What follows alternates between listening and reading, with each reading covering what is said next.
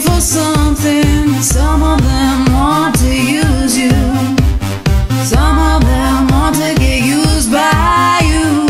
Some of them want to abuse you.